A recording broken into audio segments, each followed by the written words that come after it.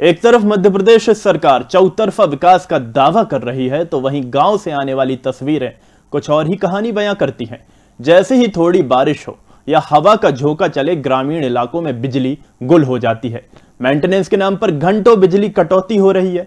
इससे नाराज़ ग्रामीणों ने विद्युत कार्यालय का घेराव कर दिया। एक हवा का तेज झोंका, बारिश के पानी की कुछ बूंदे और बिजली गुल, समस्या बड़ी है। 24 घंटे बिजली देने का दावा करते हैं, पर हरदा के दर्जनों गाँव में लोड सेंटिंग और मेंटेनेंस के नाम पर रोज़ाना 6 से 8 घंटे बिजली कटौती हो रही है।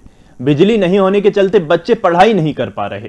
घरों में पानी की समस्या हो रही है। इससे नाराज़ होकर रहट गाँव विद्युत वितरण कंपनी के दर्जनों गाँव के नाराज़ ग्रामीणों ने विद्युत कार्यालय का घेराव कर दिया।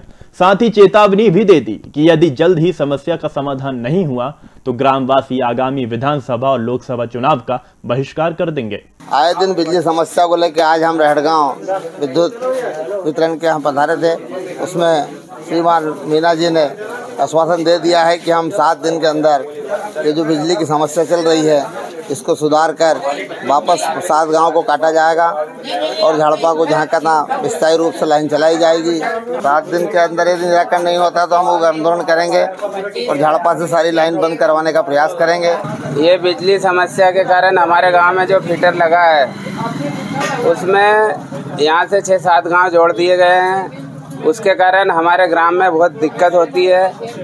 तो अभी हम ये रेड गाँव सब स्टेशन आए हैं और यहाँ साहब ने हमको आश्वासन दिया है कि एक हफ़्ते में हम जो ये लाइन जोड़ी है, उसको काट देंगे और नहीं तो हम किसान मिलकर आंदोलन करेंगे। हम रेड गाँव सब स्टेशन आए थे, जो कि हमारे ग्राम की जो बिजली का जो है झाड़पा फिटर से जोड़ दिया गया था तो उसी की समस्या लेकर हम यहाँ आए थे। तो साहब द्वारा आश्वासन दिया गया है कि एक हफ़्ते में आपको झाड़वा फिटर से अलग करके रेडगांव फिटर में जोड़ दिया जाएगा। और अगर ऐसा एक हफ़्ते में नहीं होता है तो फिर हम कलेक्ट्रेट ऑफ़िस में जाकर और धरना प्रदर्शन करेंगे। इसे पूरे मामले में बिजली विभाग रहट गाँव के जेई उपेंद्र मीणा का कहना है कि आने वाले कुछ दिनों में ही समस्या का समाधान हो जाएगा। उसमें सिंधखेड़ा घरेलू फीडर की वीसीबी का पोल बस्ट हो गया है तो अभी पोल बस्ट होने के कारण इनकी सप्लाई रैसलपुर डिवेलप फीडर से चल रही है। जो कि फीडर लंबा हो गया है, इससे बार बार ट्रिपिंग की समस्या है। उच्च अधिकारियों द्वारा बताया गया है कि पोल जो वस्ट हुआ है, उसका मटेरियल आ गया है।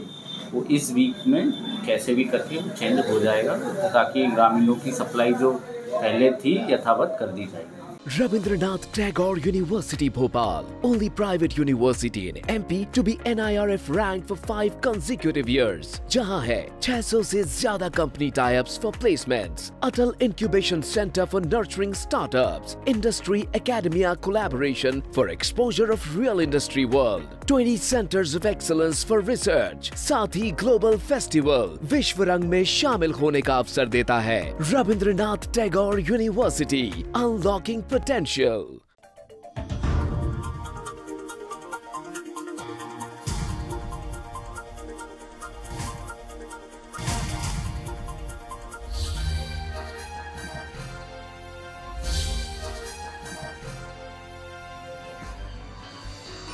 आप देख रहे हैं दखल न्यूज